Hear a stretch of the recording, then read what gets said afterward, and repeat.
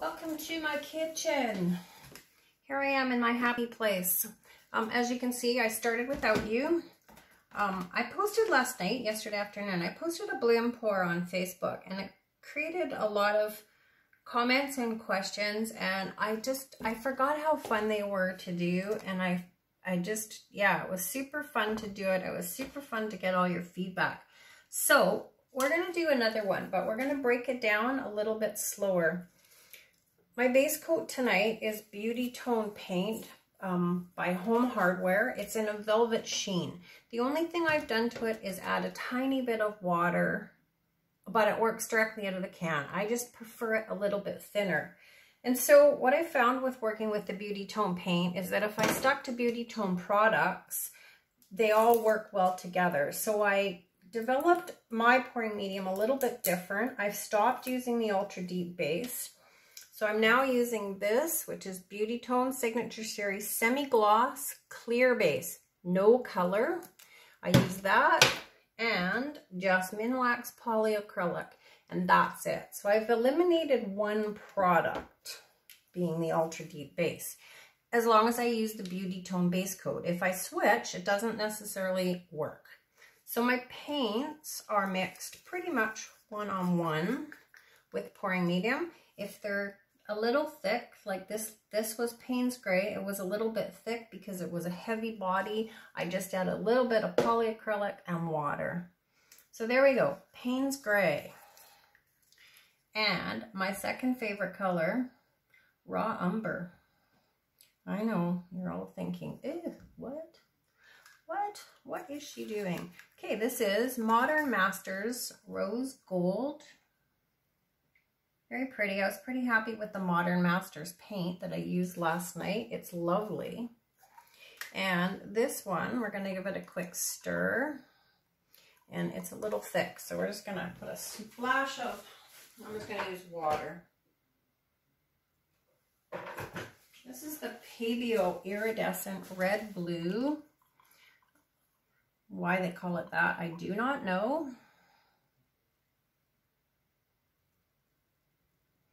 We're going to put a dot there. And we're going to put some burnt orange, also Modern Masters burnt orange. So why I'm one painting ahead of you isn't because I did something and I wasn't willing to share. It was because I started to pour like this and I added my lime, but I forgot that my lime was mixed for these super fluid pours. So it just all sank in and disappeared. So now I have added some pouring medium to the same line that I always use, and I'm hoping that it works. There's no guarantee, obviously. Okay, black cell mix, my friends. Same black cell mix I always use. I will write the description out. Okay, this is just my cloud mix. So we're going to add some dots, but we're just going to add a little bit in there and see what happens. Okay, here we go. Oh, let's torch the bubbles.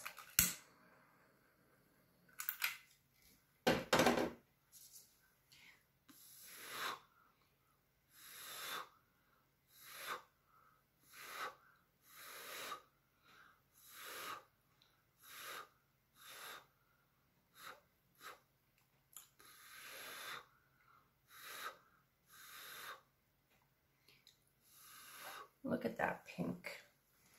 Okay, we're going to give this a second and let our center pop up and then we are going to modify, uh, modify our bloom, you guys. Modify, so a little bit of paint there, just take it out. So my favorite modifying tool has always been these and they're nothing more than plastic party kebab sticks. I get them at the dollar store. They're like a buck fifty for I don't know, 150 of them. So here we go. And then we're just going to dissect this. We're going to go through this and just like that, we're going to go through this bloom. We're going to take it apart and we're going to modify. Going to go to the left, the right, you're going to just Make some lines in it. Don't be afraid. The best way to learn is just to do it. And if you mess it up, well, you know what? It is only paint, you guys.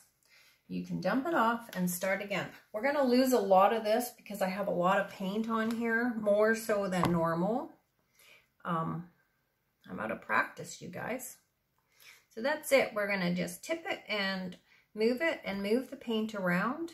If you want the paint to come off of this corner and you're and it's stuck, like I want it to come off this, so you're going to tip it to the opposite corner and let the paint do the work. So the weight of your paint is down here. You're going to turn it and tip it the other way.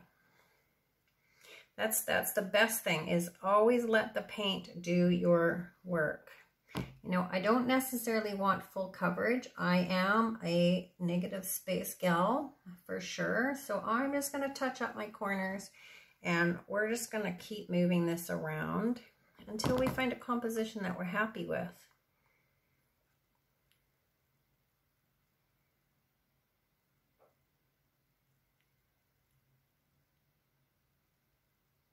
And then always back to center. Not necessarily dead center, but some form of center so that things don't look kind of distorted.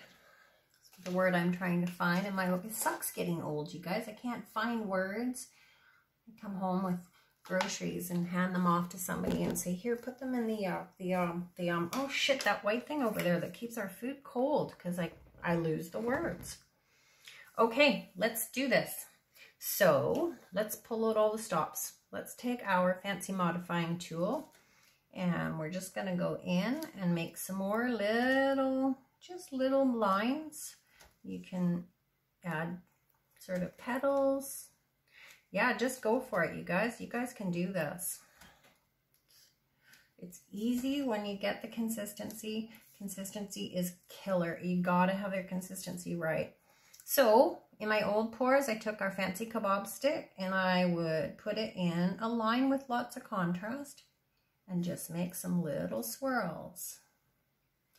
And it just adds a little bit of visual interest to your piece. It gives it sort of that fun, funky, lacy edges. And you know what? It just kind of, it just makes it your own. Works best with contrasting lines, guaranteed. Uh, you can do it, I do it on the edges, you can do it in through the middle, you can do it wherever you want. It is your piece, you guys. So this kind of definitely gives these floral blooms that, that sort of orchid look. Yeah, they're quite pretty. I, I would choose to have a little more negative space, but I don't.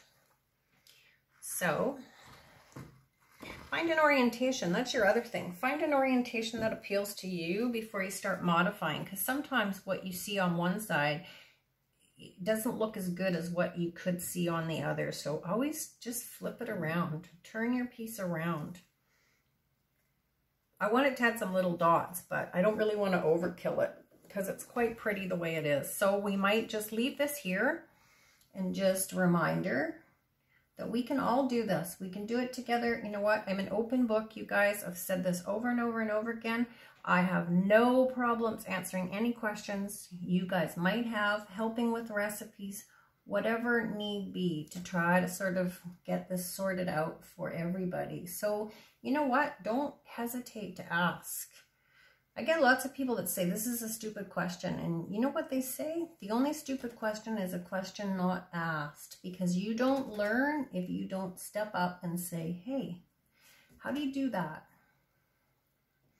And then sometimes you'll be saying to yourself, oh, that was so dumb. Of course that's how you do that. But you know what? At the time, you just draw a blank. And that is okay.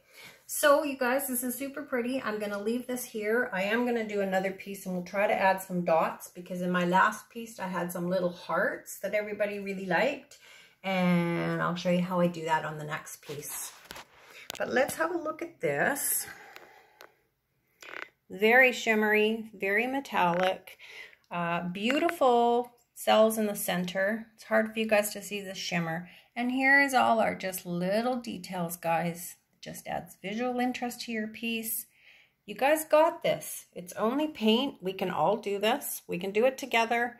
You know what?